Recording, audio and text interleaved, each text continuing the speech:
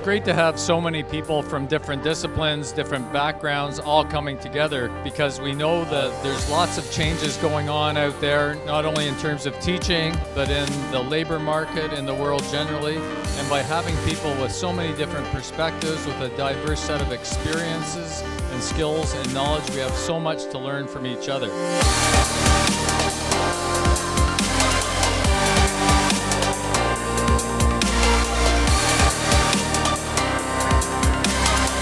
Keynote speaker was amazing this morning. He really um, knew how to capture the audience and he was really enthusiastic. And I think he did a great job of really making the session very interactive and we got to know people around us and it was a really good turnout.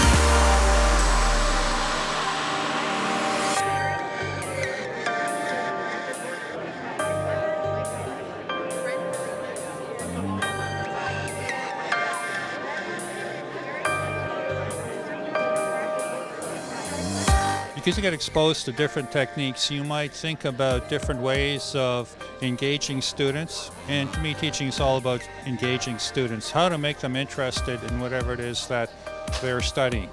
So you can use some of the new technologies, some of the new group techniques possibly.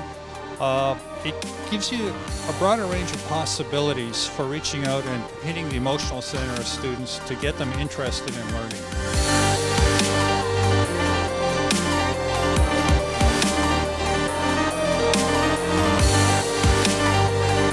Showcase is one of those unique, wonderful moments that I always look forward to every every single year, where we have everybody in the Humber community coming together. We have always wonderful keynote speeches, but what I really enjoyed the fact was that most of the people were from outside of my school, and we're able to compare notes and we're able to hopefully help them think about their particular area in a different way. And that's really what Showcase is about. It's about sharing some of our best practices and hopefully inspire people in their respective areas.